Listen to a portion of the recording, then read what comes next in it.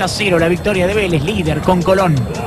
Esta tarde, en el Coliseo de Victoria, Gimnasia y Tigre empataron 1 a 1. Estraco Alursi marcaba el primero para el equipo de Coca a los 13 de la inicial.